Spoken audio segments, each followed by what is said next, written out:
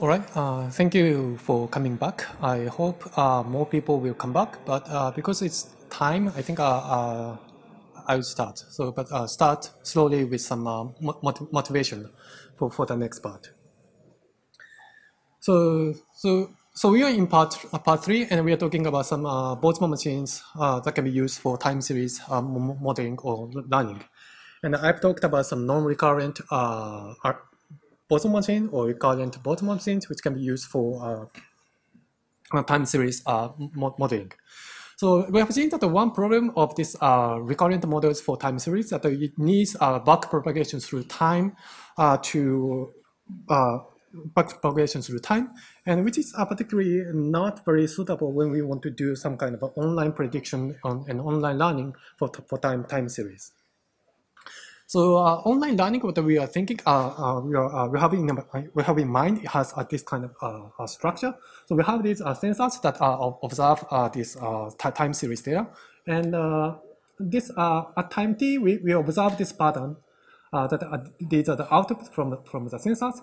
And based on this pattern, we want to update our internal state, which may be uh, some uh, internal state, uh, um, on uh, also update the, the model parameter so that we, we can better pre predict the, the ne next pattern. And, and, and, and, ideally, we want to throw away this uh, observed pattern, and we, it's gonna be it's not gonna be used in, in, in the in, in the in in, uh, in the uh, succeeding steps. And this kind of online learning is needed when when we don't we don't have uh, sufficient uh, resource to store these or all of these time time series, or we don't have the time to to to deal with all of the time time series at, at each step. Maybe uh, you have a huge uh, very long time series, or you have a very uh, high dimensional time series, or you are running in a very tiny device, tiny uh, uh IoT devices. So that's the, uh, the, the framework that, uh, that we want to apply. So a problem of this uh, recurrent uh, structure is that it needs about pro propagation through time at each iteration, at each moment of this online learning. So at uh, every time t, we observe a new pattern and update uh, uh, parameters uh, according to this stochastic gradient. But this step requires back propagation through time, and this uh, the the, the, com the complexity of back propagation through time is is linear with respect to the, the length of the preceding time series. So it's not quite uh, tractable when you have a long series, a, a, long sequence, or when you don't have much time at, at, at each at each moment. And also, this uh, the, uh, after you update this uh, parameter, you want to predict the next next pattern or next uh, the distribution of the next pattern. But uh, again, this part requires uh, linear time with respect, to, with respect to the length of the, the, preceding time series because your parameters has been uh, updated. So you don't you, at every moment you change your your parameter theta. So you, you, you need to recompute your hidden values or, or, or if, if, you, or if you, you are resampling hidden, hidden values, you need to resample your, your, your hidden values to, by, by using these new parameters. So to, to deal with uh, uh, this, uh, for online learning of, of time, time series, we, are, we study this model called dynamic Boltzmann machine. So I'm going to start with this uh, original idea of uh, dynamic Boltzmann machines. So it, it's defined uh, as a limit of a sequence of, of Boltzmann machine uh, like this. This uh, Boltzmann machine, uh, Boltzmann machine has, has this structure which is similar to uh, conditional uh, RB, uh, conditional uh, RBM. But here, we, so far now, for now, we, we, we don't talk about hidden units. That is going to come later in, in this talk.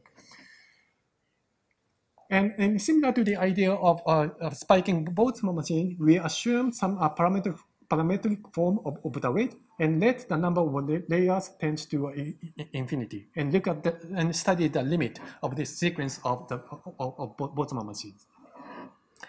The particular parametric form we consider is this, uh, has this form. For the reasons that I'm, I'm gonna explain later, this is uh, some nice uh, property. So in particular, so Wij delta represents uh, the, the weight between uh, x between xt minus delta to xxt. Uh, so this is a unit i and unit j, and they are separated, separated by time uh, by time the delta, and this weight is represented as uh, wij delta. And uh, by so this, by parametric form, we assume that this has the form of form of this. So uij is the height of this curve, and lambda is the decay rate of this curve, and uh, and, and, and so on. So dij can be seen as a conduction delay from unit i to unit j. So uh, so the, the the impact of the of the, the, the value of, of unit one has the uh, has highest uh, has highest impact after this delay on unit, unit j. For the reasons that I explained later, we, can also assume this, this, this weight, which uh, looks, looks like this. So Vij is the height of this, this height of here, and it de decays with rate um, mu in, in this direction. So by, by assuming this parametric form, we, uh, we, can, we can show that it has a limit which uh, looks like this. It is a dynamic, dynamic, dynamical model. So, uh, so this figure represents only a connection between two units, so a unit i and unit j. So it may be uh, related to your uh, some uh, neural network. So unit i is uh, represents some neuron i, and at each moment it will it fires or, or not. So it takes a value of one or zero, and, and this value travels along this uh, first in first out queue. So it travels moves one step, one one one at a time. And this part is uh, some uh, connection between neuron I and neuron J, and it is uh, maybe related to synapse in neural network. And when the, the value re reaches the synapse, it affects this, uh, the values that are stored in, uh, in, in, the synapse. And this quantity is called a synaptic eligibility trace. So when the value 1 uh, arrives at the synapse, the, this quantity jumps up by a constant amount, and otherwise the value decays by, by a constant factor which uh, so up so the update rule looks like this. So because uh, this is a limit of a sequence of Boltzmann machine, we can also talk about a limit of a sequence of energy of the Boltzmann machine or limit of a sequence of the, uh, the probability of, of, the, of the Boltzmann machines.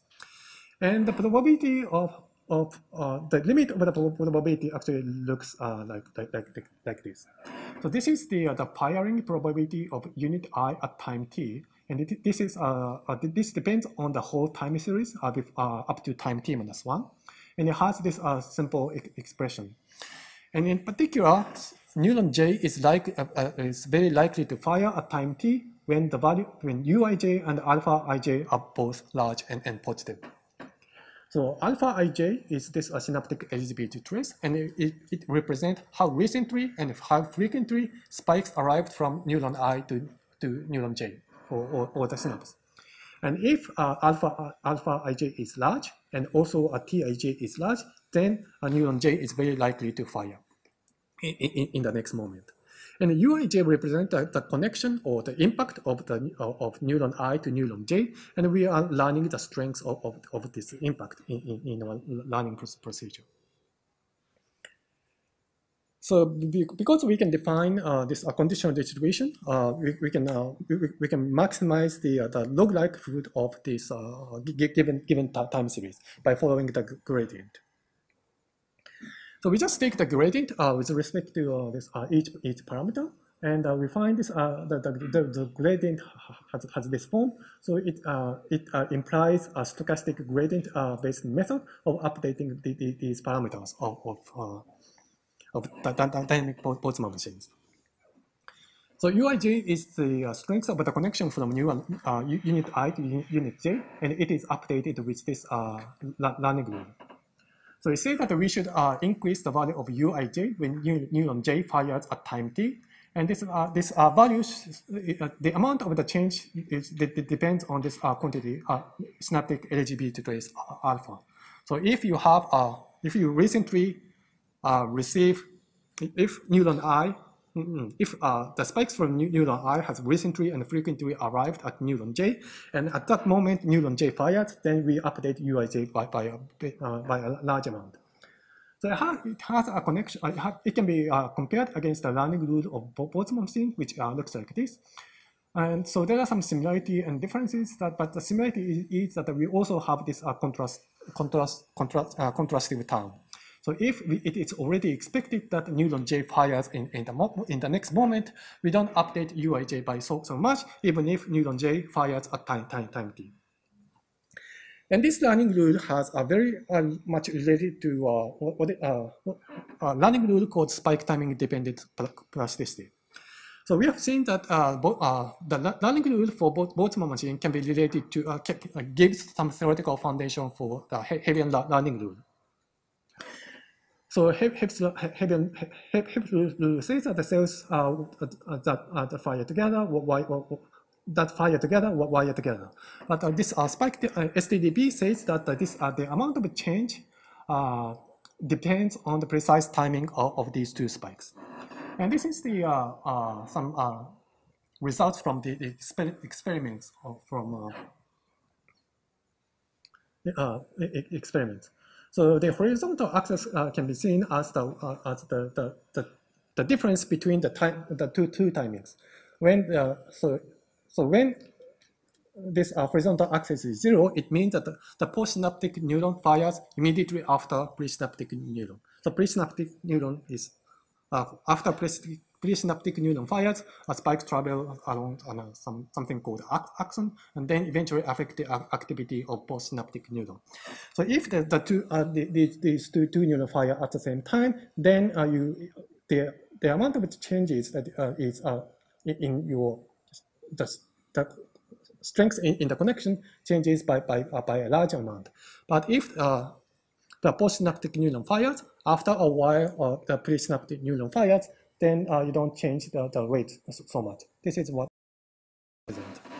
and when uh, this order is reversed, which means that the postsynaptic neuron fires before presynaptic neuron fires, then we have this reverse effect that uh, the weight is weakened. Weight between two, two neurons is weakened.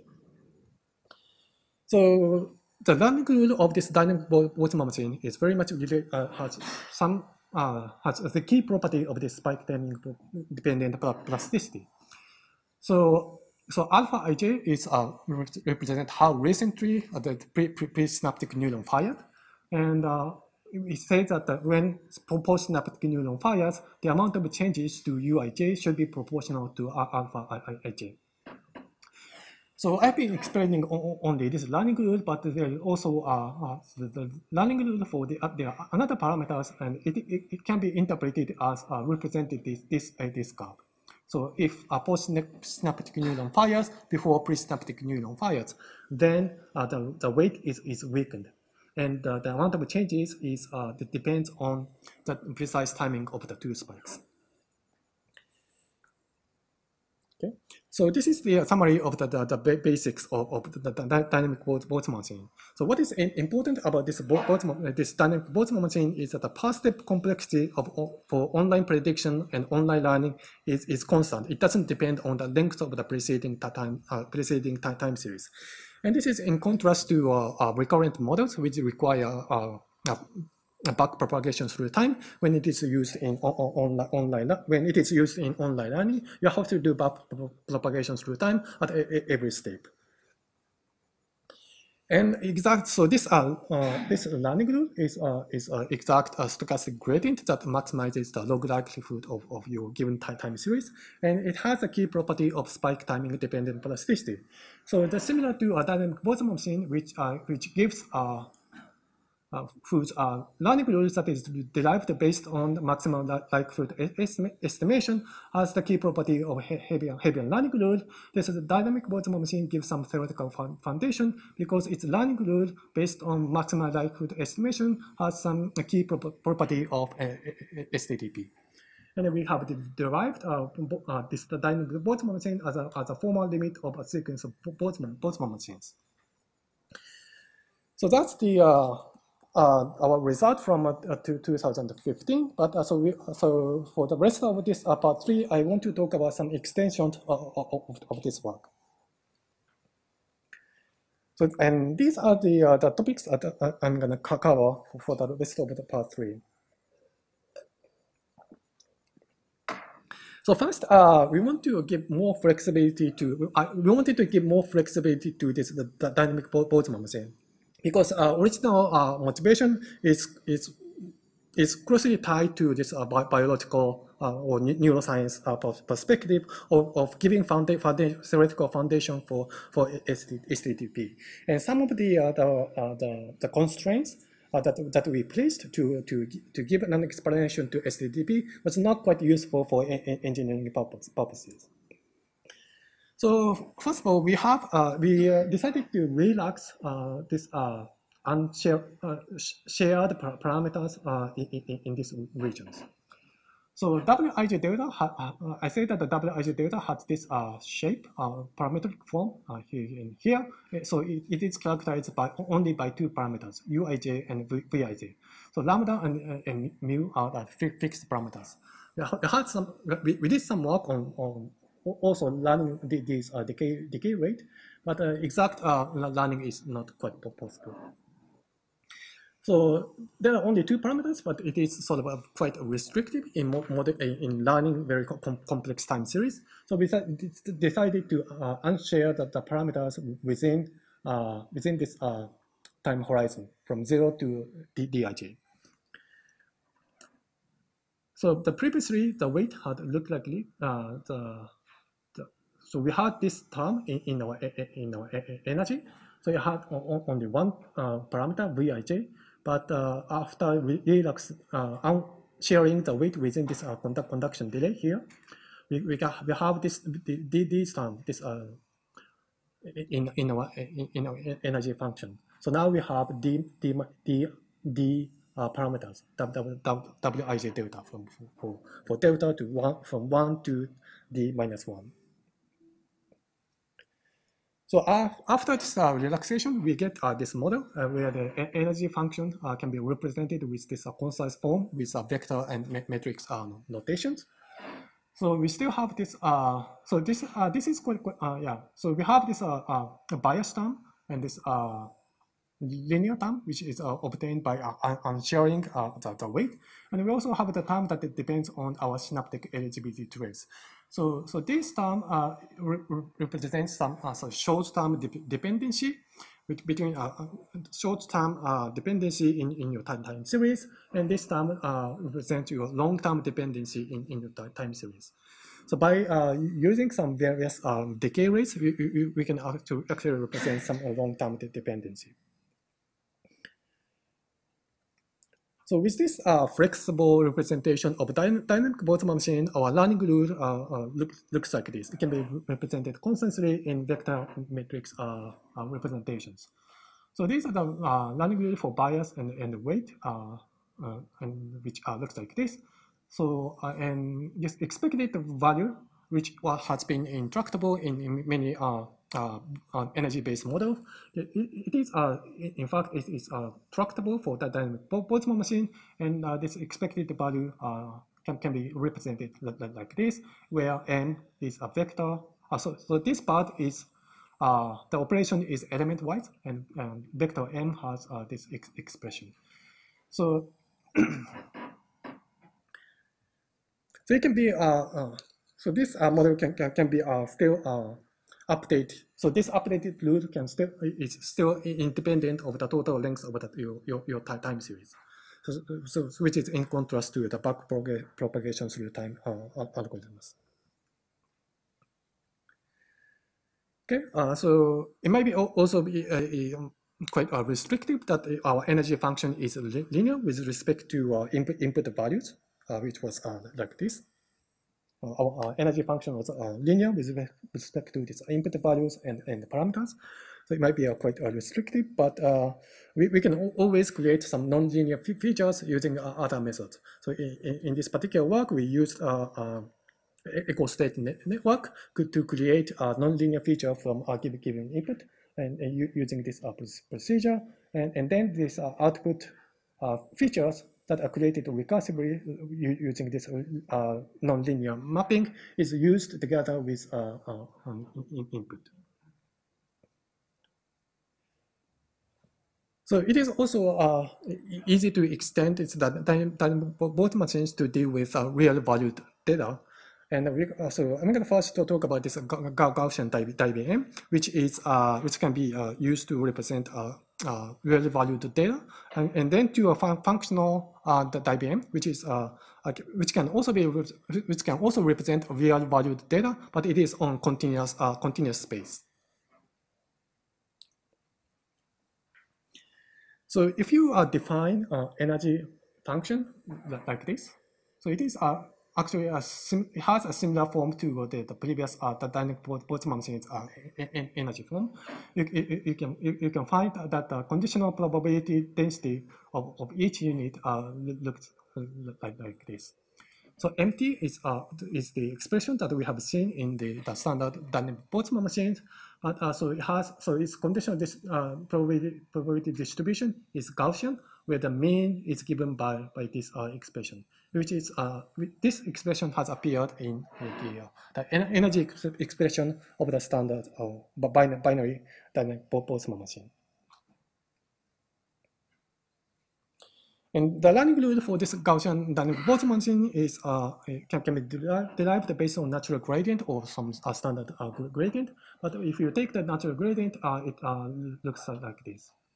It's uh, very similar to the, to the case of uh, the binary dynamic Boltzmann machine. The only only only difference is that this uh, expected value is changed to m, and m it, it has has this form.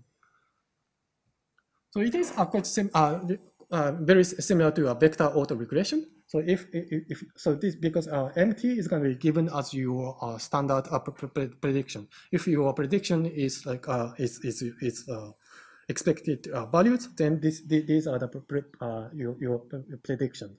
And this is uh, if if you don't have this term, it is uh, it is the same as a vector autoregression. But but we uh, we try to uh, you, you because but we include this term that depends on this eligibility trace, and we we learn the parameters in on online manner. And this Gaussian dynamic Boltzmann machine can be extended to to deal with uh, to define uh, the functional um, to to to uh, to to to, to, uh, to extend it to uh, the pa pa functional patterns on, on continuous uh, continuous space. Sorry. So so this is uh, this is uh, this work is going to be uh, presented in in this conference. I think it's Tuesday. Right? this this is the paper number. So at each moment, you have uh, this uh, continuous uh, patterns in, in your continuous space. And you are given as an input, you cannot observe all, all of the, uh, the all, all, the values in continuous space. So you have a finite number of uh, sensors, and maybe the number of sensors changes over time, and the location of the sensors may, may change. And so you have a finite number, you have an observation of, of, the, of this pattern from finite points. And you want, what you want to predict, predict is the, the distribution of, of the ne next pattern. But this pattern is uh, the continuous pattern. So the, this Gaussian dynamic Boltzmann machine can be uh, can be can be uh, can be extended to to deal with this kind of a continuous pattern or, or time series of this continuous pattern.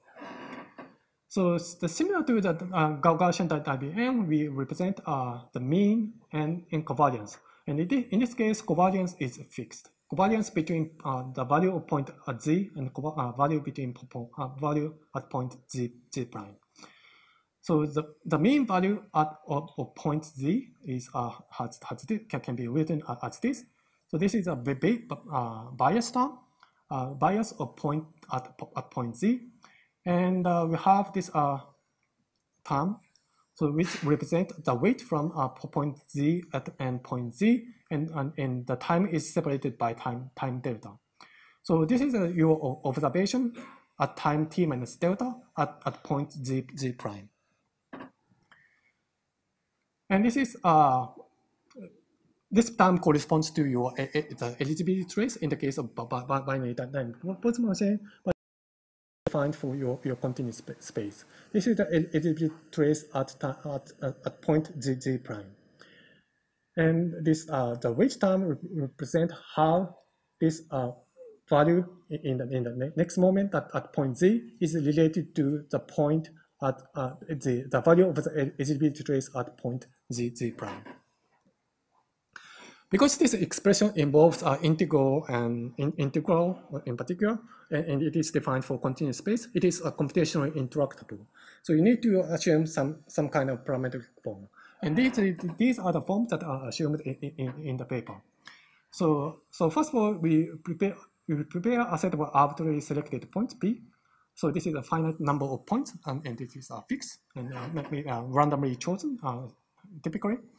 So this a bias at, at point z can be represented uh, as this. So this is this k. So this is uh, our covariance matrix, but uh, and this is uh, defined as a vector where which represent the, the covariance between uh, z and, each point in, in p. This is a, a, a row vector. So this is an inner, inner product between this row vector and this column, column vector, and, and this is how this uh, bias is is is defined. We can also define uh, this uh, the weight uh, this uh, weight functions using this uh, covariance matrix and uh, and these uh, uh, matrix in this way. So, so again, this is a, a, row vector and this is a, column vector.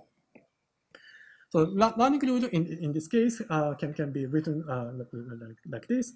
So for example, the, the, the bias term, bias vector that is used to, uh, in, in this parametric form can be up, updated with, with this procedure.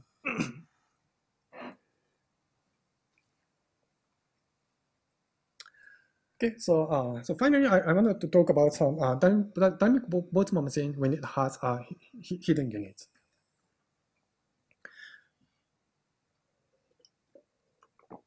So we have uh, presented this uh, work uh, two weeks ago at ICML in Sydney. So uh, so far, so far we haven't talked about uh, uh, hidden units. We have just, we just had um, visible units.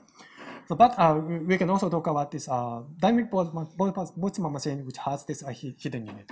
But we have seen that learning this model is, is difficult in the case of like a, spiking Boltzmann machine or, or temporal restricted Boltzmann machine.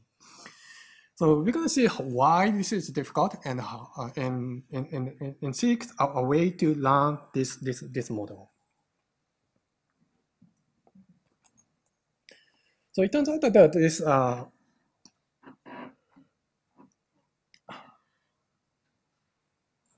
this the probability of, of this uh, defined by this uh, dynamic Boltzmann machine with hidden units can be uh, can be represented like this.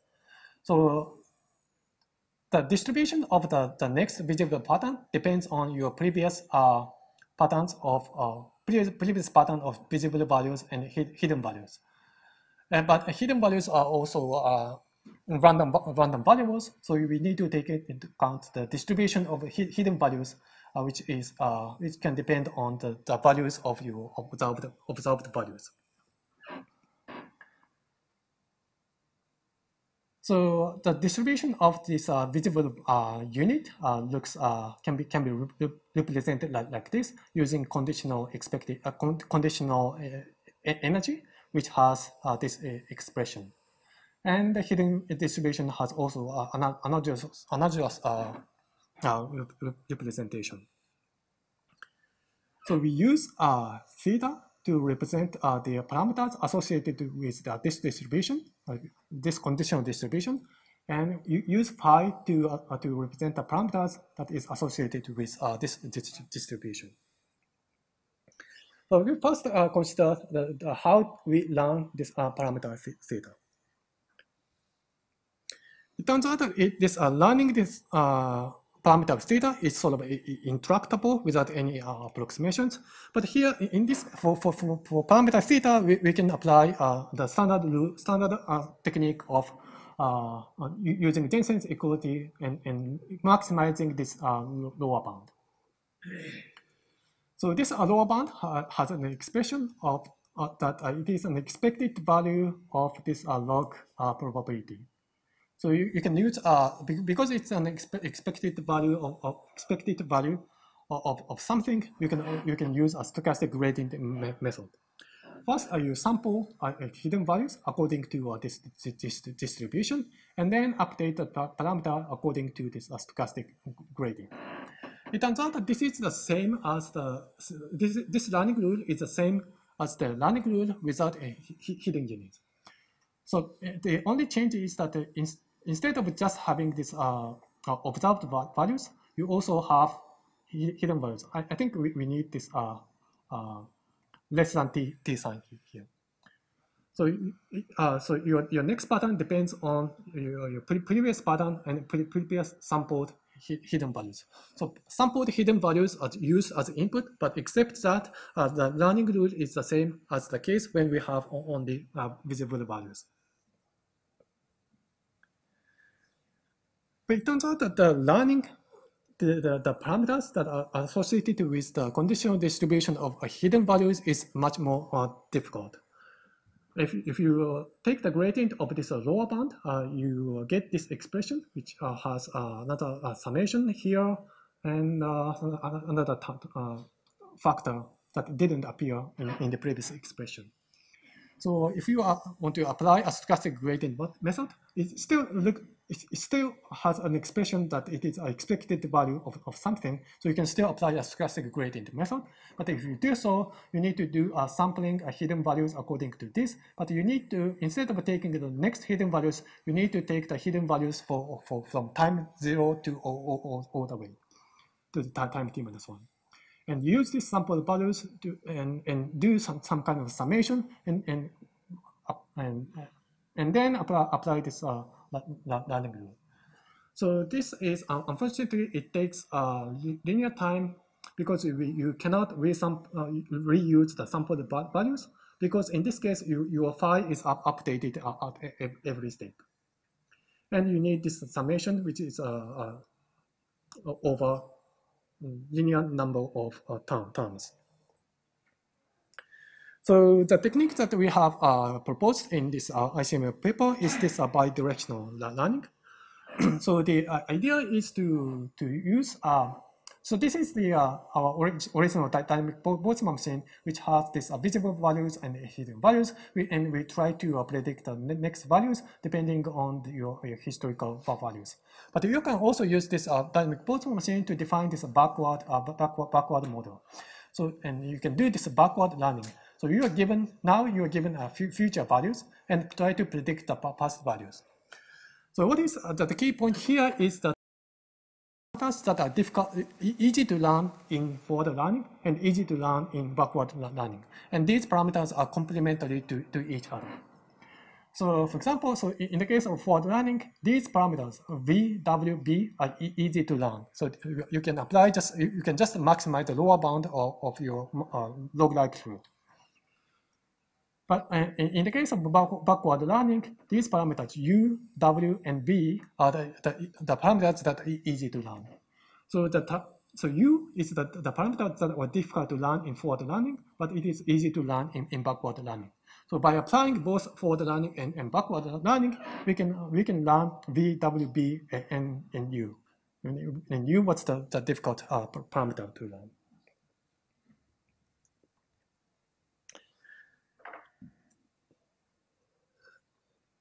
Okay, uh, so so here I'm summarize uh, the, uh, the the what, what we have covered in part three.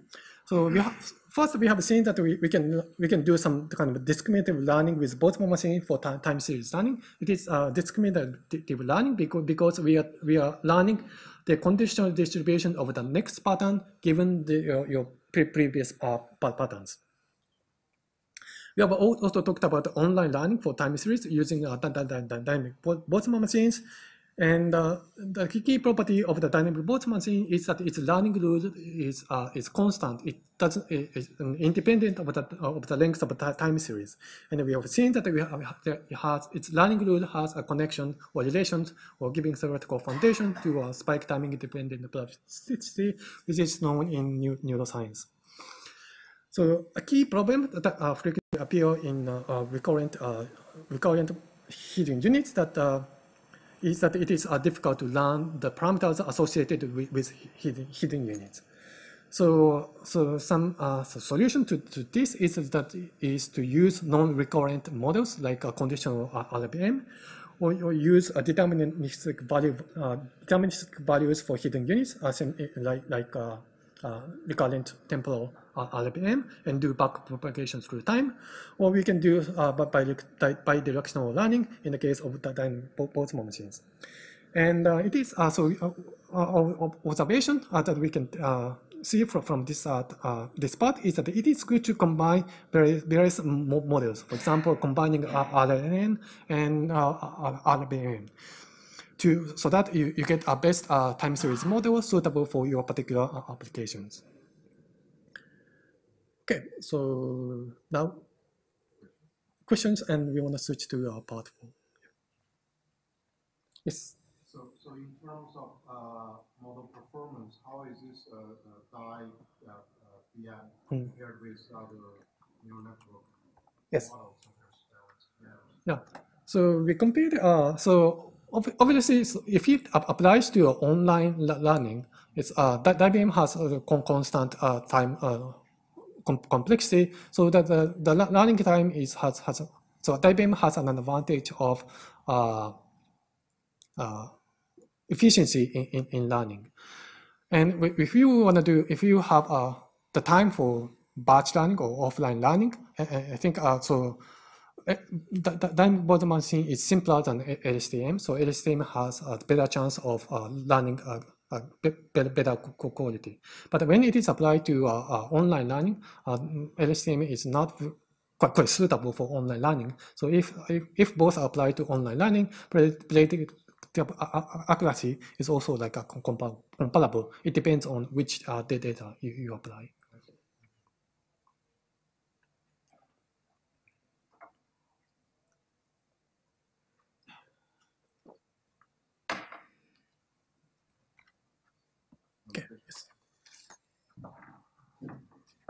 Okay, so now we'll uh, kind of change gears. So, by the way, please uh, ask uh, questions in between. So, if you have doubts, just uh, stop me in the middle and ask a question.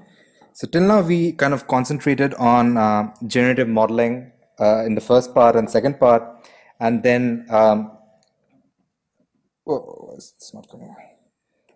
in the third part, we looked at how to use these um, energy-based models for um, kind of time series learning. And so now we will be essentially move to towards a completely, uh, so not completely, but slightly different domain of uh, reinforcement learning uh, using these kind of energy-based models as function approximators.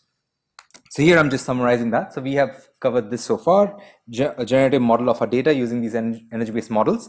We have also seen that when we have a continuous or, or sequential data or temporal stream of uh, say sensory data, we can use these energy-based models like uh, restricted uh, temporal Boltzmann machines or dynamic Boltzmann machines and its variants in order to make an online prediction of what you expect to see in the next future time step.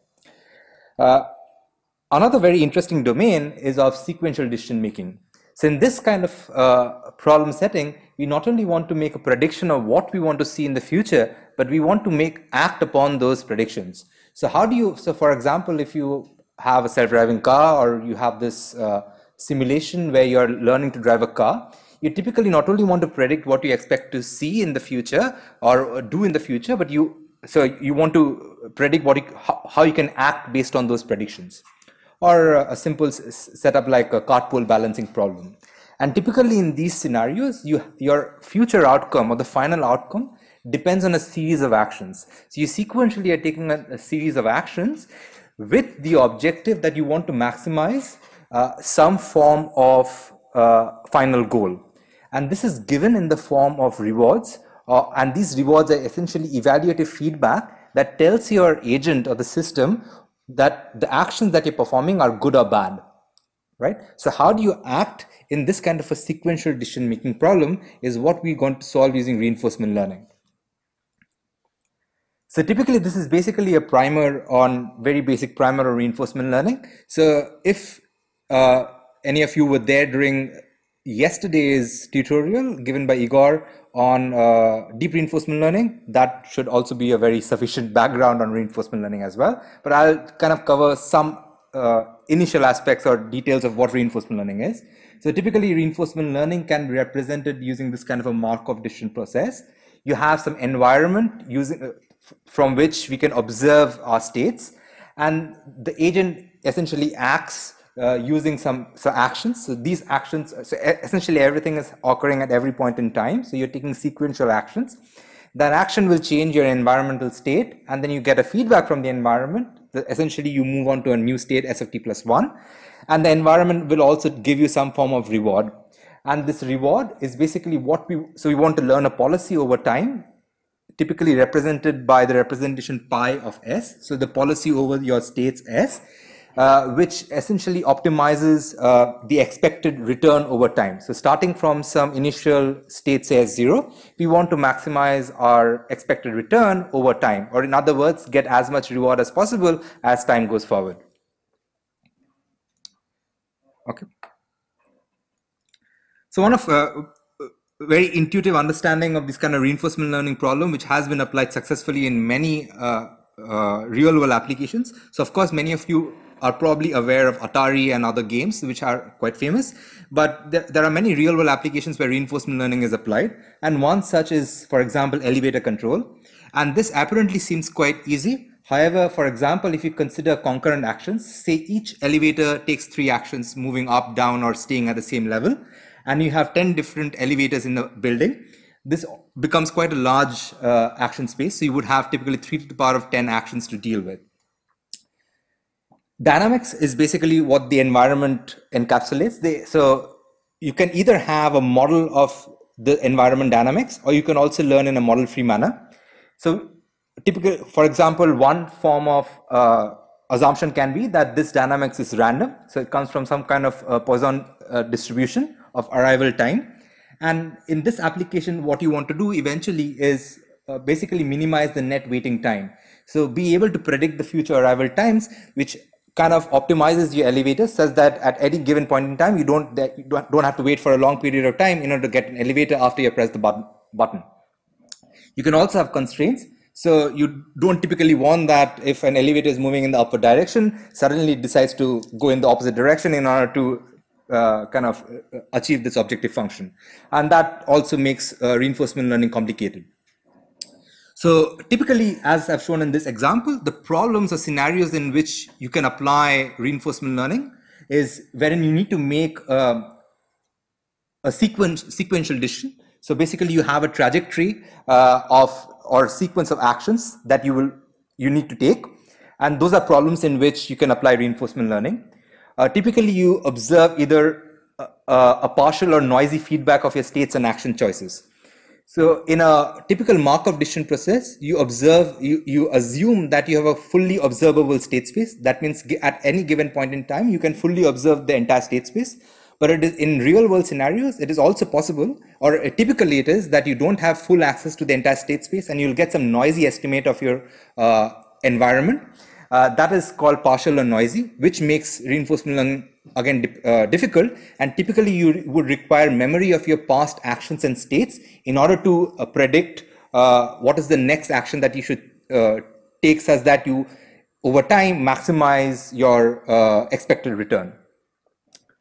And what we want to do is optimize a sequence of actions with this global objective function.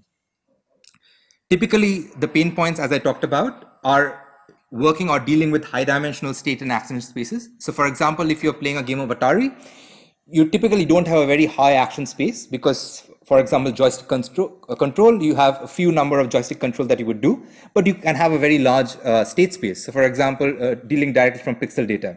But there can be also problems in which you have a very large number of action spaces. Uh, for example, continuous control problems uh, uh, you know typically deal with that. So if you have a robotics application you not only you could not only have a high dimensional state space but you could also have a high uh, dimensional action space that you need to deal with in order to learn an optimal policy of controlling your robot. And as i said also partial observability is a problem.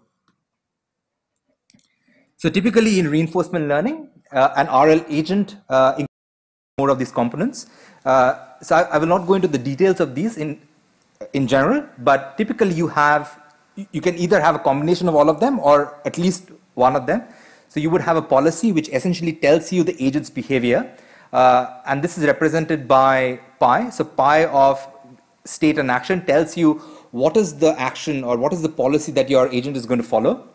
you will have a value function which essentially tells you uh, a goodness or badness of the actions of your uh, of your policy. So how good is each state and or action, typically represented by a value function v of pi of s, or represented by q, where q represents the action value function. So not only an estimate of how good is each state, but it can be a representation of how good is your state and action. You may also have some model of your environment. So this model basically tells you uh, some notion of transition. So the probability of being in the next state given your past state and action. Typically, if you have access to this model, it falls under category of model-based reinforcement learning, which works slightly better. However, learning this model is difficult. Uh, what we are going to look at today are largely model-free reinforcement learning methods, where we don't have access to this kind of a model of the environment or model of the dynamics of the environment. So another primer on, so the value of this policy and control uh, typically can be formulated using a dynamic programming approach given by these two well-known Bellman uh, equations. So the first one is basically a Bellman equation for state value function given some fixed policy. So pi here is the fixed policy. So the value function associated with this policy pi at state s, so how good your state is, can be given by summing over all the actions. So A here represents all the actions. So say in this case you have discrete actions. So all possible actions. R is the immediate reward that you get being in state S and A. And gamma is a discount factor. So what you're doing is that you're discounting future rewards over time. T is essentially uh, a Bellman operator which gives you this expectation. And V of pi is the value function associated with your next state S prime. This can also be formulated in the form of a state action value function. So now you not only find out how good is your, so the value associated with each state, but you can also find out the value associated with each state and action. And that has a similar representation. So this is represented as the reward at state, uh, so, so reward that you get being at state S and action A, uh, plus gamma being again the discount factor, summing over all possible states S prime given this transition function. So this P tells you what is the probability of being in state S prime uh, given uh, the previous state S and A. And then you take an argmax. So you're choosing, so the maximum action associated so the action associated with the maximum value function uh, or action value function out here. So these two can be applied. So typically you don't have ac access to this uh, uh, transition function or the probability function. If you have access to this probability function, you can solve this without actually doing the full reinforcement lear learning problem. So you can use dynamic programming approach. Uh, at, that means you can start from some random pi. So you choose some random policy. Uh, then you evaluate this policy. So, and so evaluate this policy using basically this kind of Bellman operation. So that can be applied recursively. And you at every point in time, based on this Q, you just act greedily. So you take this argmax uh, and choose the maximum uh, action. So the action associated with this maximum Q and act greedily. And it can be shown that if you do this uh, process repeatedly, you are uh, basically going to reach the optimal policy pi star, uh, corresponding to also the optimal uh, value function V star. so basically this equation, which is comes from the Bellman expectation equation, for uh, an optimal policy pi star can be written in a similar form uh, to get you the Bellman optimality equation. Typically, we don't have access to, so we don't have this uh, probability function. So now we are going to see some uh, methods that can be applied using model-free reinforcement learning. One such method is basically called SARSA or temporal difference learning for a fully observable scenario. So once again, we are assuming here uh, in this formulation that you have uh, essentially full observability of your uh, Markov decision process. So what you do is that you evaluate a policy by iteratively updating the action value function Q using this formulation. So wherein the action value function at state at time t and action at time t depends on is updated using this wherein this term gives you the expected return uh, by taking this action at time t plus 1 and being in state t plus 1. So by taking this one step action, what is the expected return that you get subtracted from your previous expectation, expectation of your value function. So typically this is an approximation of your, uh, uh, so it can be viewed as a Monte Carlo approximation of the Bellman equation. So if you just have a Monte Carlo update of your Bellman equation, instead of this, you would have the actual reward uh, at, at, at, this t plus one step. So by taking this t plus one step, you know if you have, you know your actual reward, you can just subtract that. However, this formulation gives you, uh, so this is also known as a temporal difference uh, algorithm, which gives, uh, lets you deal with delayed reward scenarios much more better. Okay. So the term SARSA comes from the fact that you have at every point in time, you take into the account your previous state, action, the next reward, the next state and the next action into account in order to update this equation. And that's the reason it's basically called SARSA. You may be familiar with Q-learning. Uh, in Q-learning, it's a very similar representation, except that this is an on-policy method. So meaning that you would have, you take the next action A of t plus 1 and then evaluate your Q, fu Q function, but do not act, you do not take the argmax, you do not consider the uh, action associated with the maximum Q value. In case of Q learning, you would act in an off policy manner. So you don't take into account A of t plus 1 you in this case you would have the same equation but in this term you would have an argmax so you take the uh, action associated with the maximum q value function in order to update your q value. And there are some differences between SARSA and q, q, q learning. Okay. What we want to do now is use some form of function approximation. So why why have we been talking about this reinforcement learning and this energy based uh, machine learning tutorial is now we are going to use some form of function approximator to approximate our Q function, Q action value function. And energy based models gives us such one suitable uh, function approximator. So typically if you use uh, some uh, approximation, so for example, so the action value function parameterized by some parameters theta, you can use some kind of a linear function approximator. So your phi, phi are, are your features and theta is basically the parameters of the model. And with this kind of a linear function approximator, there are some very nice proofs that you can show that your learning will always converge to a, a, a good policy, so it will converge without divergence. However, if you have a nonlinear function approximator, such convergence is not guaranteed, uh, or in other words, th there are divergence issues. Such divergence, by the way, is more prone in case of Q-learning. So instead of SARSA, if you use a nonlinear function approximator, like a very deep neural network, and approximate a Q action value function, it is also very prone to divergence, more so as compared to SARSA. That's something to keep in mind. Of course, this now gives us a function approximator. So now we can use some suitable form of function, function approximator to approximate our Q action value function. So for example, uh, just a, uh, a linear uh, function approximator, but we also need some notion of policy. So the policy is basically what tells us how should we act based on this uh, Q action value function. So one thing, of course, you can do is that you can act greedily. So if you act, use a greedy uh, policy, then you basically choose uh, the action associated with the maximum uh, Q value function at every point in time. So argmax. Or you can use something that we'll see today is a stochastic policy. And in this case, you have a familiar fo forms. If you have already realized, you would have seen this previously. So this is basically like a softmax uh, policy.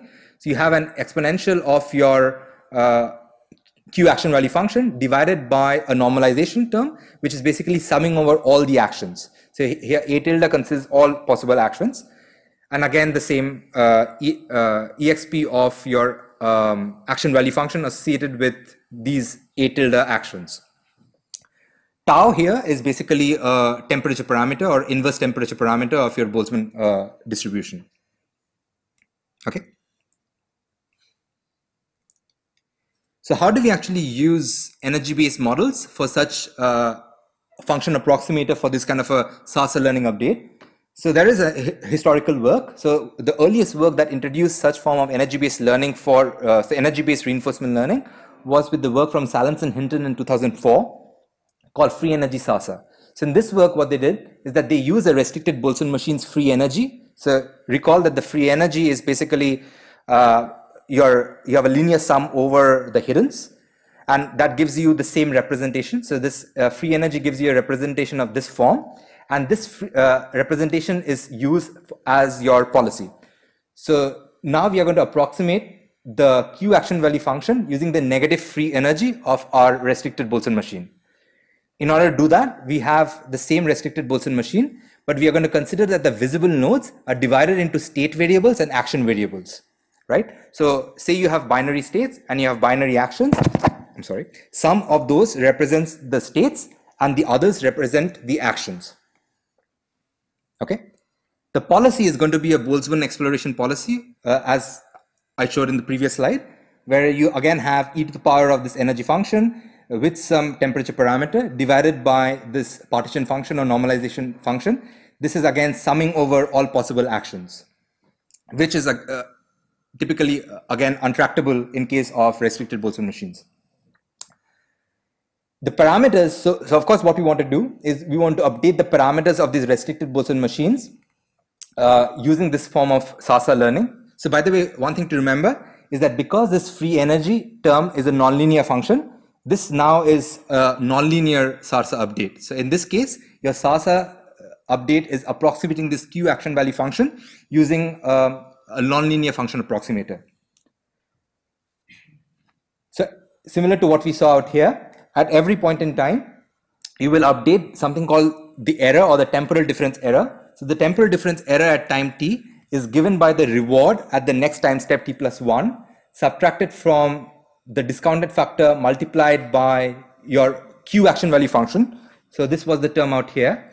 So this, so this, so what we are doing is we are calculating this error term and this q action value function is approximated by the minus free energy and that's the reason you have this f term out here par parameterized by theta plus the previous uh, q action value function so which is again the free energy associated with state s of t and a of t what we want to do is basically update our parameters theta t plus 1 using the gradient information which uh, comes out to be ha having this form. So every point in time, you update the parameters theta using some learning rate eta. So eta at time t is basically your learning rate at time t multiplied by this temporal difference error and the gradient of the free energy with respect to these parameters theta t.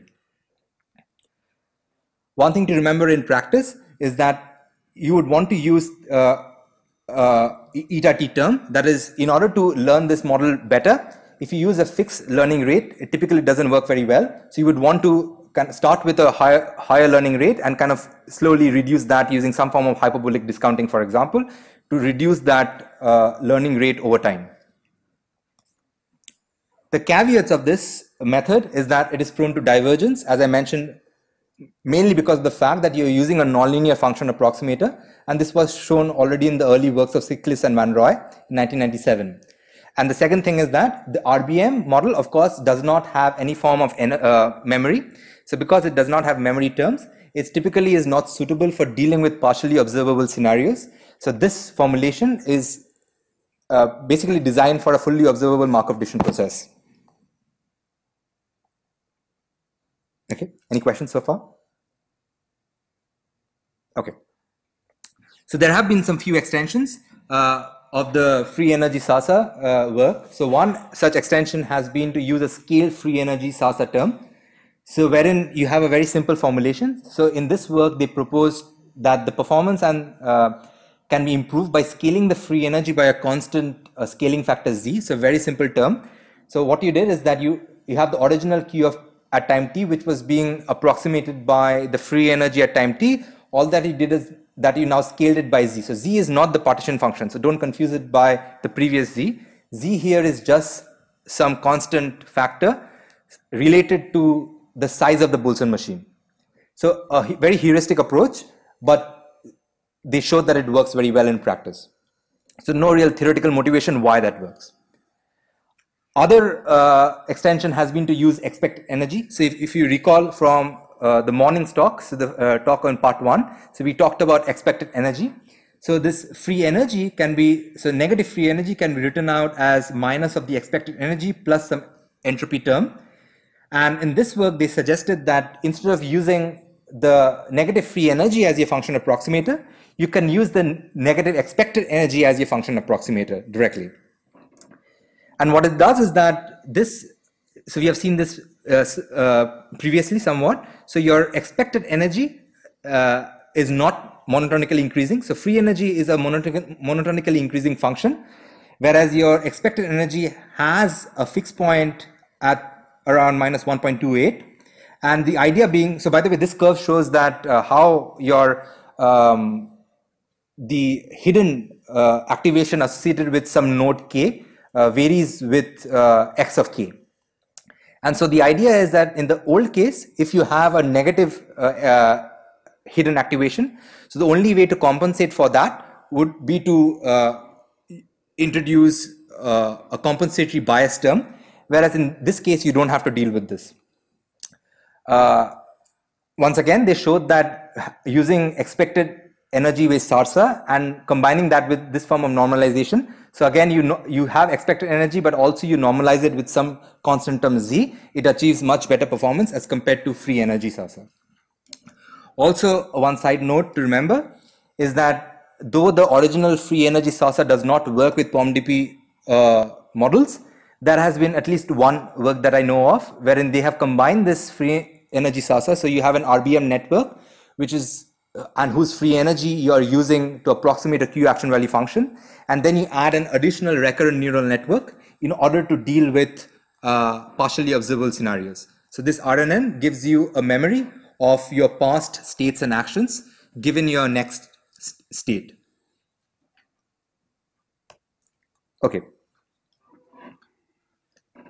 So here's just one example of uh, comparison of the different flavors of free energy SARSA. So in this task, uh, it is essentially a simple grid world. So you have a grid world wherein at every point in time, the task is that starting from location one here, you want to reach the center point uh, given by five. Uh, you have an additional task that you you have either MNIST images.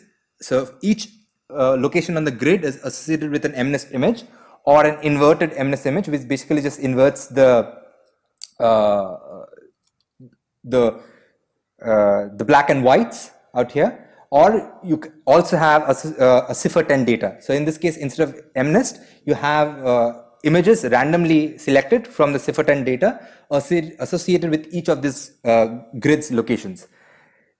The idea is that you want to learn, so only this counterclockwise direction will give you maximum reward. All other directions do not give you reward. So you want to learn this counterclockwise direction of going from 1, 2, 3, 6, 9, 8, 7, 4, and 5. Uh, in CIFAR 10 data, starting from this jet image, going to uh, the deer. So this learned quite uh, well using uh, free energy uh, appro function approximation for your Q action value function.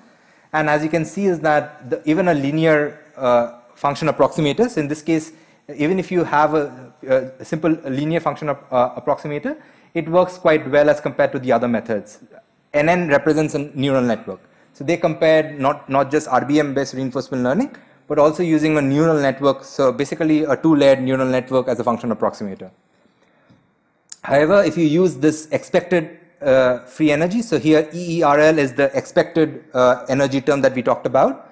Uh, ZM basically means you are you not only have the expected energy, but you're also normalizing it with some constant factor that gave much better performance as compared to the other methods. But again, a heuristic uh, method of showing that uh, these extensions of free energy based SARSA works quite well in practice. Okay. So with that, I will come to a, a new form of algorithm called uh, or dynamic Boltzmann machine energy based SARSA algorithm. So till now, what we have done is that we have seen that the original dynamic Boltzmann machine uh, is essentially a generative model of your time series data that maximizes the log likelihood of your time series with which we can do uh, prediction, generation, and classification. And we saw that in the last uh, talk. And we saw that you can not only have the original DyBM dealing with binary data, but you can also have extensions in the form of Gaussian dynamic Boltzmann machine or functional dynamic Boltzmann machine that allow you to deal with real value data and make predictions. What we are now going to do is that we are going to use the energy associated with this dynamic Boltzmann machine as the function approximator of our action uh, value function Q. And because this dynamic Boltzmann machine inherently is a memory based model. So if you recall, it has access to eligibility traces and a FIFO queue that allows you that allows you to essentially learn the probability of being in the state at time t given your entire past. You can use this kind of dynamic Boltzmann machine to deal with uh, partially observable decision making problems without using any additional recurrent neural network.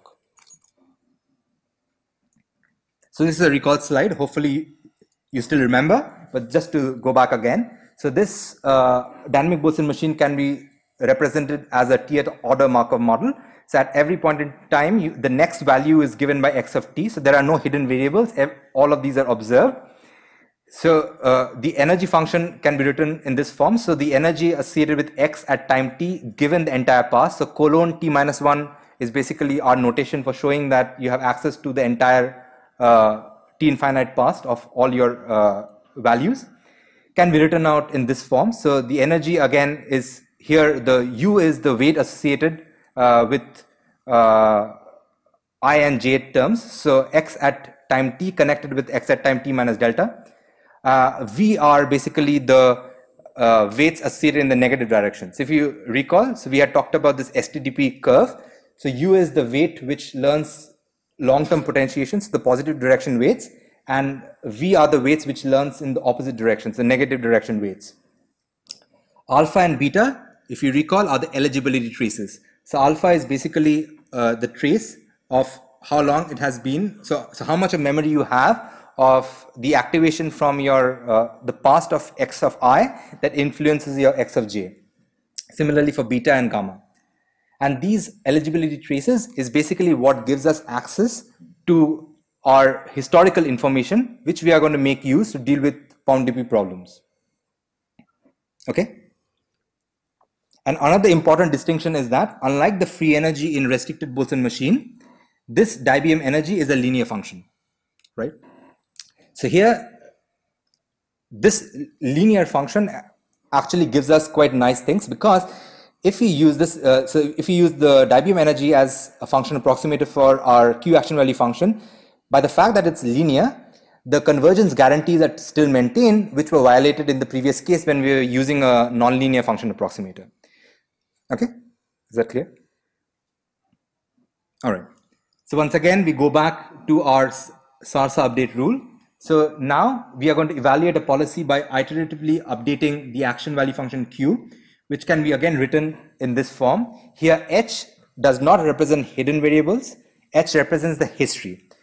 So the Q action value function given the history at time t and the action at time t. So history basically tells you the past, entire past of your previous states and actions is dependent on the Q action value function at time t plus alpha, some learning rate, multiplied by the temporal difference error, which is basically the reward at time t plus 1 plus your some discount factor gamma multiplied by the Q action value function that you get by taking this one step ahead. So you're taking the action uh, A of t plus 1. Once again, because you're using dynamic Boltzmann machine, you have the entire history of the past actions and observations. So Z here now represents the observation terms. So previously we were calling states the same because it's a POMDP scenario. Uh, instead of states, we are we will call them observations. We are going to once again approximate this Q action value function using the DyBM energies. Previously, we were using the free energy of RBM, but here we are going to use the energy function of DyBM as the function approximator. And it, as we will see, or we have seen in the previous slide, the energy function can be written out as a linear uh, a function of its parameters. So this can be observed out here. So here, essentially, this is nothing but a, a similar representation as phi. So where phi is the features that you're learning, and theta is basically the parameters of the DyBM network, which would be the bias and the weights. And the policy that we are going to use is basically a Boltzmann exploration policy or a softmax policy. So a stochastic policy being that the probability of getting uh, action A is given by exp, the exponential of your uh, q action value function divided by this normalization factor. Okay. All right. Is it clear so far? Okay. So in DySARSA, this energy of the Boltzmann machine is basically what we are going to use to approximate the q action value function. In order to do that, similar to RBM, we are going to assume that you have the, eh, the both the states and the actions are observable, right? So if you just go back a few slides, so even in this case, you had assumed that the visible units can be divided into state variables and action variables. We have the similar thing in case of DyBM. So we are assuming that Z here now gives you access to both your states, xi's. Uh, so your xi uh, consists of both the observations as well as your actions. So for example, consider a task in which you have say three states and two possible actions. So the total dimensionality of your dynamic Boltzmann machine would be five, that you would have three nodes associated with each of those states and two nodes associated with each of those actions. What we're going to do is that we're going to approximate this Q action value function uh, with the energy of dynamic Boltzmann machine associated with the action nodes A at time t. We can choose the probability using this Boltzmann exploration. So the probability of x of j uh, at time t being equals to 1 is equal to 1 by this term. This comes from the fact that you, you are, we are in, in the original model, we are assuming that you have binary actions. So you have binary actions. This energy term becomes 0 because it's multiplied with xj of t. And that's the reason you have this nice formulation. Okay, so this is nothing but uh, is simply coming from here. So this pi is what is represented by the probability term here. So if you just use binary variables, uh, this uh, binary variables and replace this q by the energy function of DyBM, you will get this formulation. Okay. So once again, what we are going to do is that we want to, of course, update the parameters. So learn the parameters of the model in case of original dynamic Boltzmann machine, you can recall that we had an update rule which looks something like this. So you are updating the weights uij at every time step, uh, wherein you would multiply this eligibility trace by xj at time t minus some contrastive term, which is the expectation, xj at time t. And this basically, so this alpha ij at time t minus 1 gives you access to the memory. And this uh, is basically what we motivated from a spike timing dependent plasticity point of view. So this has uh, relationships by uh, to the uh, basically learning in the brain, wherein you take into account how long it has been or, or the timing of your spikes or information coming from one presynaptic neuron to postsynaptic neuron is important in order to find the correlations when you would uh, potentiate, that is increase a weight or depress or decrease a weight. Similarly, in DySARSA, you get this temporal difference error term, which is basically nothing new. So here, all that we have done is that we have replaced the Q action value function by the energy of the DyBM. But if you now do this operation, so if you basically do this, if you differentiate this term, that uh, the energy function with respect to the parameters theta, you get a very nice formulation which looks like this. So here we have just shown it for one of the parameters u.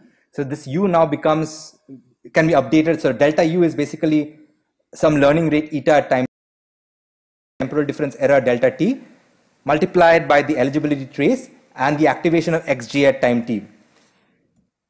And this turns out to be something which is known in neuroscience as neuromodulated spike timing dependent plasticity. Essentially the idea being that, that this delta t term behaves similar to something known as dopaminergic neurons in the brain, which encodes the difference between the reward and the expected reward. So if you recall, we had talked about this. So this temporal difference error is basically telling you what is the expected return by taking action t plus, so one time step action subtracted from your previous expected uh, uh, return from the previous time step. And that's basically what this delta t is encoding. And we are using this as a third factor or modulation factor, uh, which goes in here in order to update our weights. Okay. So of course, I've shown it only for uij, but you can do this uh, very simply for all the other parameters, so the bias and other weights of the dynamic Boltzmann machine.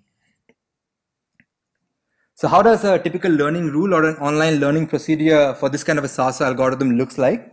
So what you would essentially do is have a repetitive process like this. So at every point in time, you choose the next action XA at time t plus 1 using this or your policy. So in our case, this is a Boltzmann policy. So using that policy, you choose the next action. You take that action to obtain a new observation state xz at time t plus 1 and some new reward. Then you evaluate your q action value function using the energy function of DyBM. So this one basically is the energy function associated with this new action that you have taken.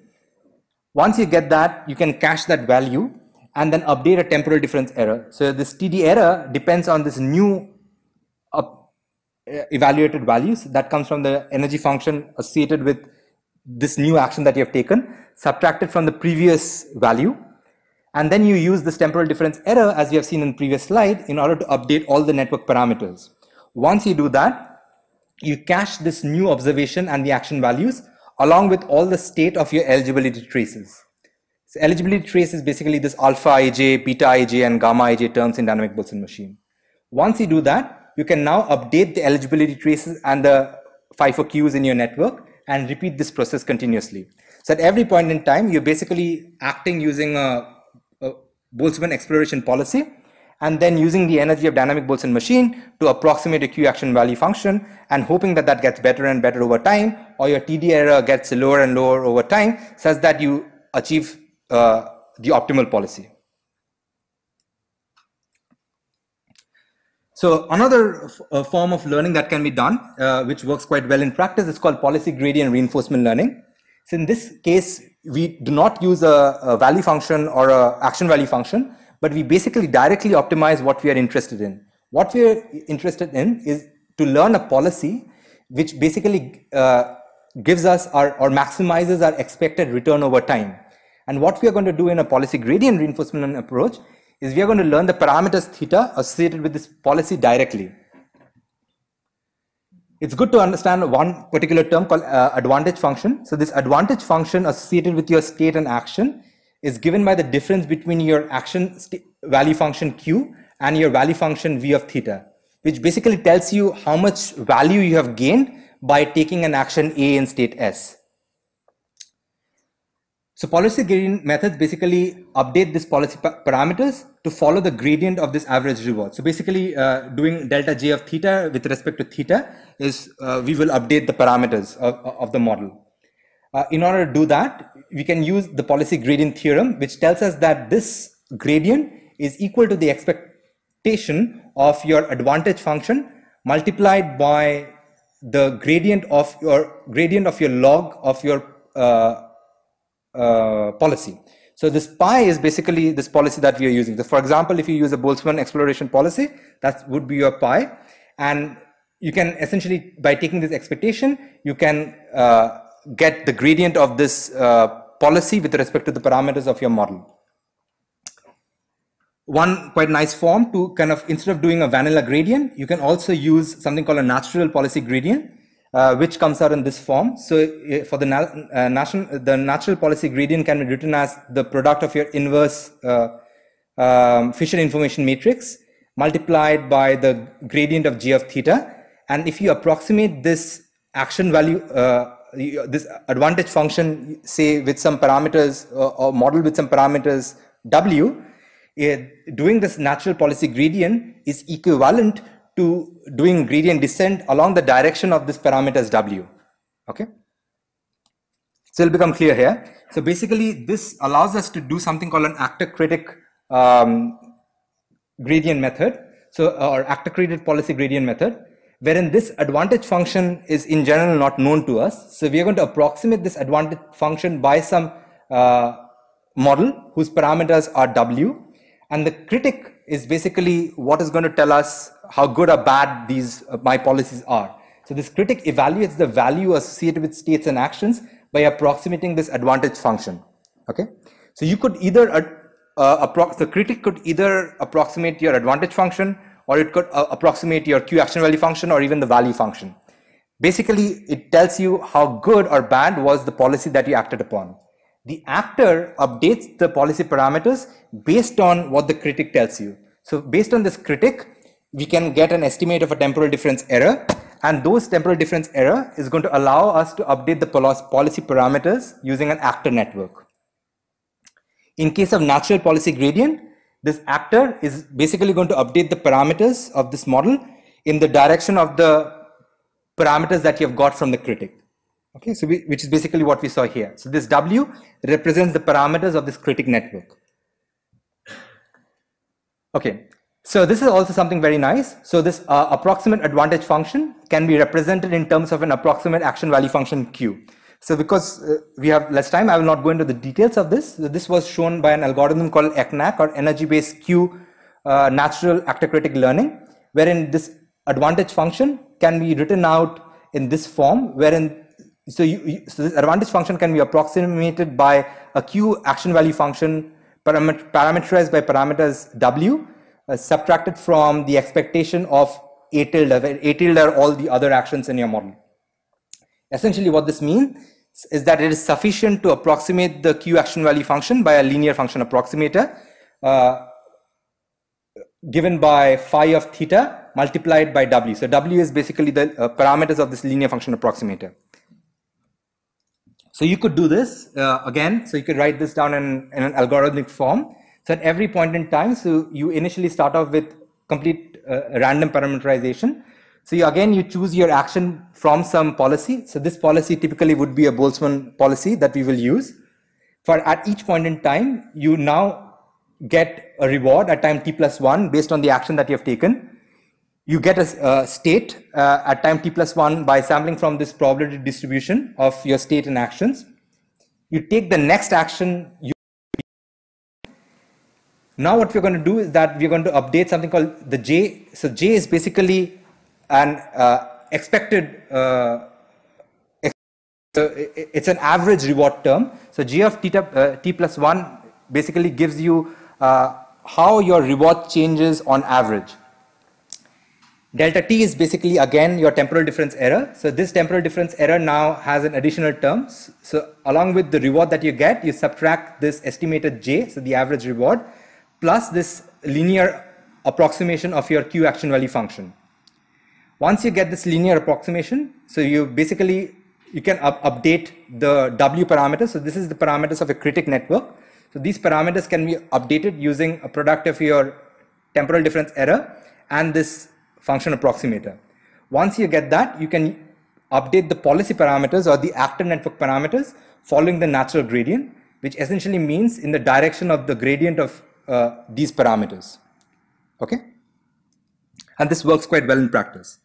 So this allows us to, so this similar method of uh, actor critic learning allows us to do the same thing using a dyna dynamic Boltzmann machine formulation. So now we are going to essentially have two separate network. One is an actor network and a critic network. And using an, uh, so the critic is going to get parameterized by W, which estimates the Q action value function at, uh, so, uh, using a linear function approximator, which comes from the energy of dynamic Boltzmann machine.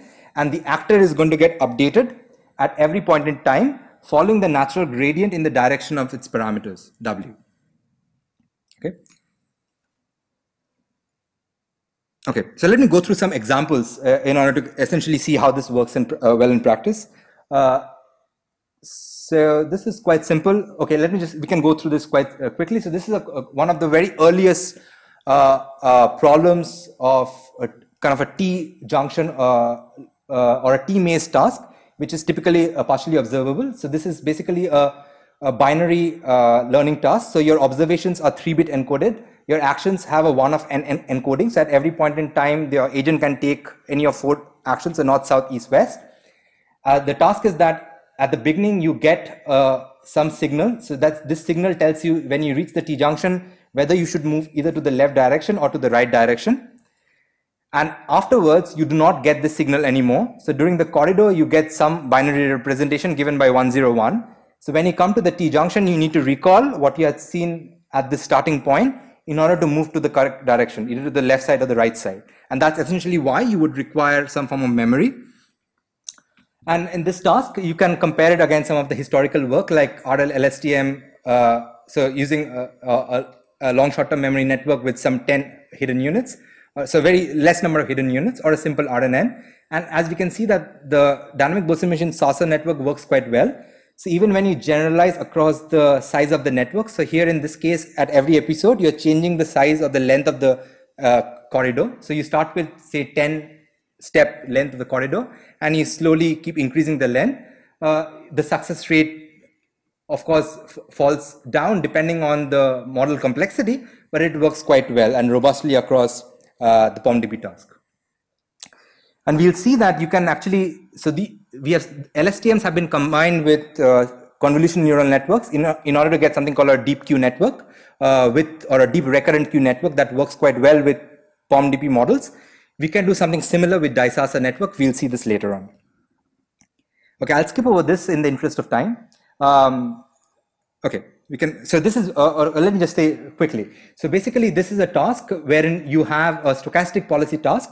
So at every point in time, you basically have a cyclic policy that you want to learn. You don't have any observed states. All the states are unobserved. And what you have is basically actions. So these actions are n bit uh, encoded. That means if you have five bit actions, you typically have two to the power of five uh, possible action state space. So not very large, but quite large. And what you want to learn is the cyclic policy. So only when you are in this state, you receive a reward of 10 if you move to this state. Any other state will not give you a reward. Once again, if you are in this state, k plus 1th state, only when your actions are represented by this uh, encoding, you receive a reward of 10 and come back to this state. And the idea is that you want to keep cycling. So you want to learn the cyclic policy. And once again here, uh, using a policy gradient algorithm, lets you reach the maximum reward of 10 uh, for this kind of a POMDP problem. Whereas in case of uh, RBM, so if you directly use uh, a restricted Boltzmann machine which does not have memory, it treats both of these uh, states as independent. As a result, it reaches a maximum reward of 10 by 2, which is 5 in this case. Okay, let me just skip this. All right. So as I mentioned, you can combine uh, this kind of a dynamic uh, Boltzmann machine SARSA network in combination with a uh, multi-layered or a deep convolutional neural network, which gives you a much better feature representation. So this one is of course a nonlinear network, but our DySARSA is still a linear network. So what we do in this case is that you can now use uh, inputs which are basically raw pixel data as has been used with convolutional neural networks, which gives you a feature representation of those pixel images. Then you pass it through some ReLU layer. So this basically gives you ReLU activations, so between zeros and ones, and that acts as the observation input to your DySARSA network. So DySARSA now basically takes input which is of the ReLU. Along with that, it takes input the action dimension. So for example, if you have a binary task, uh, whatever is your dimensionality or action, those many nodes you would require in your DySARSA network. And the idea is that this DySARSA network learns without backpropagation as you have seen. So this one basically learns only in the forward direction, but we are going to use the same temporal difference error to propagate it backwards through the convolutional neural network to update the weights of the convolutional neural networks.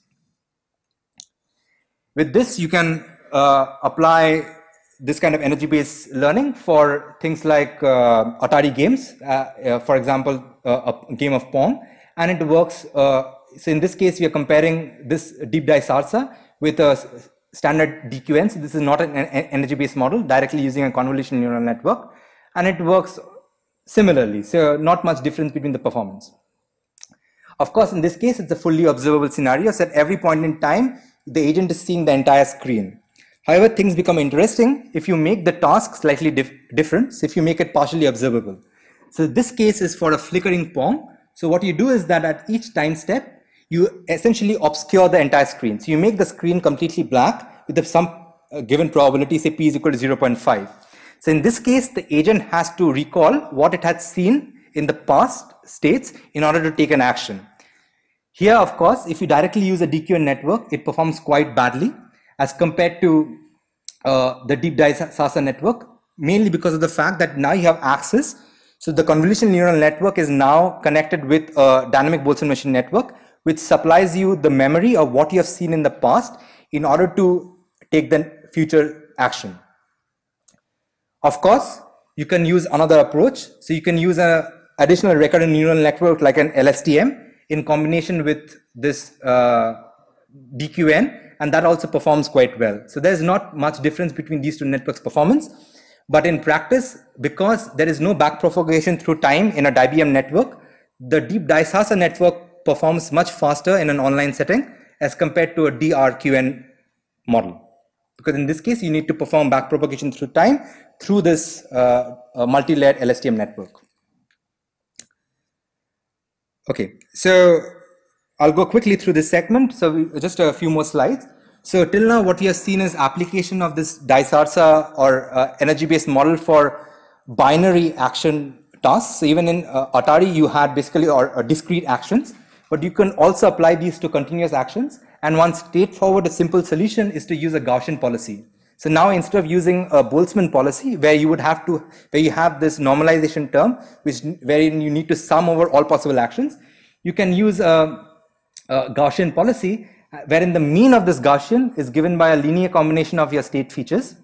And then you use a suitable energy-based function approximator for this, uh, for this kind of an energy-based model.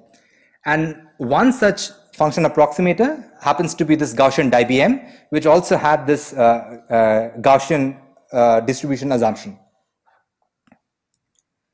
Uh, to show you some some results uh, with this such kind of a continuous problem. So this is a much more high dimensional problem as you would have seen with uh, Reacher task. So in this case, we have a multi degree of freedom robot arm. So this is a UR5 robot arm, which is basically has seven degrees of freedom. The task is that you're using Kinect data directly. So in this case, the robot has not been given the actual position information where this uh, object is located. So you, you're using a convolutional neural network to estimate the position, the XY position of this object directly from Kinect data, and then using an energy-based reinforcement learning in order to move or learn a, a continuous policy of how to move the robot arm.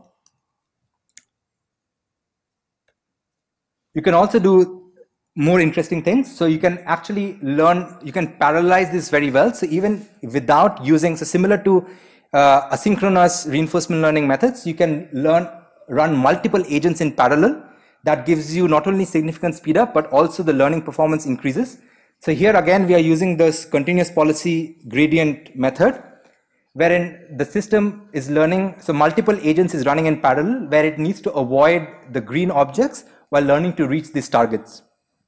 It also works quite well. So once again, these tasks are significantly more difficult as compared to a two degree of freedom uh, Reacher task, where in this case you have a much more high dimensional problem. Okay. So again, this is model free, so no model uh, or dynamics information is given to our reinforcement learning approximator. So finally, I just wanted to point out uh, towards this uh, very recent work, which is quite nice. And this is called deep energy based policies for continuous control. Uh, so this is a work from Pieter Abbeel and Sergey Levine's group, published in the recent ICML conference, where they basically use a maximum entropy formulation of the policy. So the optimal policy pi is now not only you're uh, basically uh, maximizing the expected uh, re reward over time, but it's also maximizing the entropy associated with your policy. Uh, this has there has been a lot of work in the past so this has been kind of surveyed previously. It's called known as maximum entropy uh, formulation of reinforcement learning, which has been used widely in uh, optimal control problems. Once again, you can formulate this.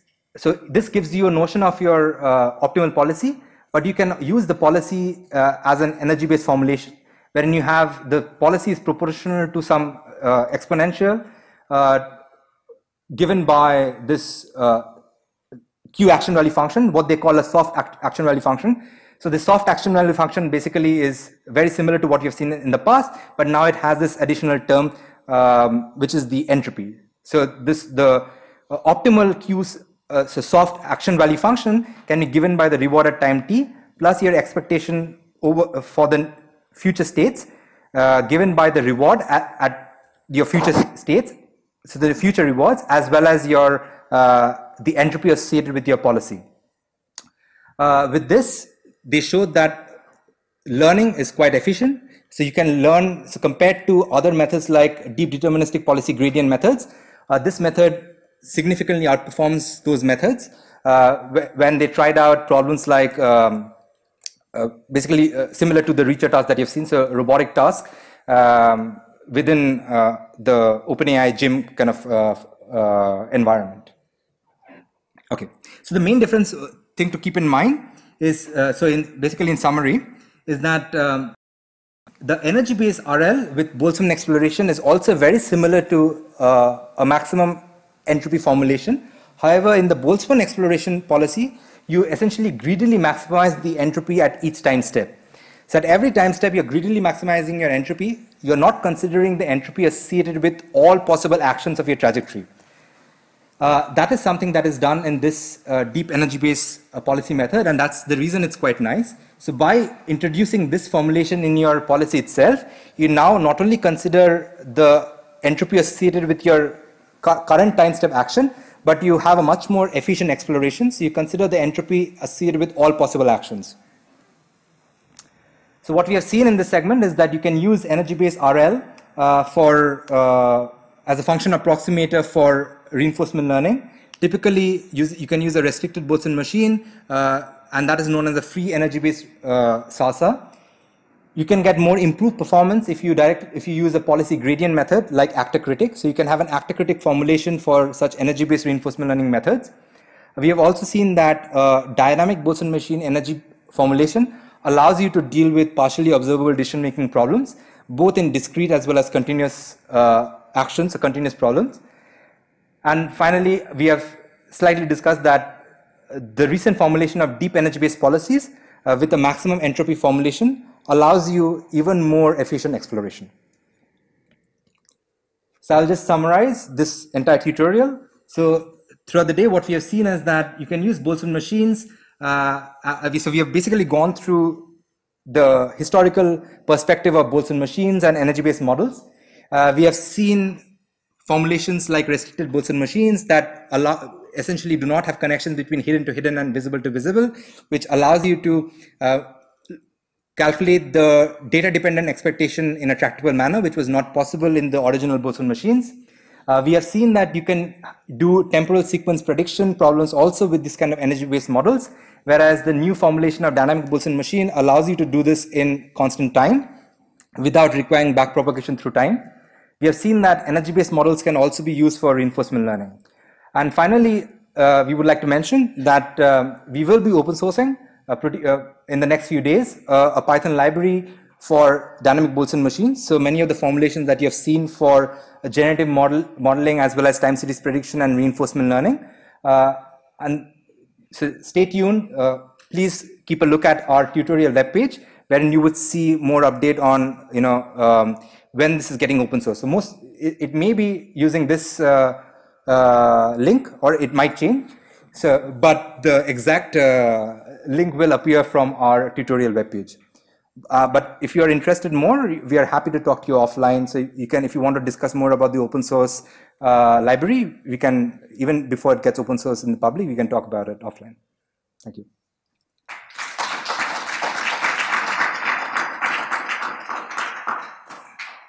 Do we have uh, questions?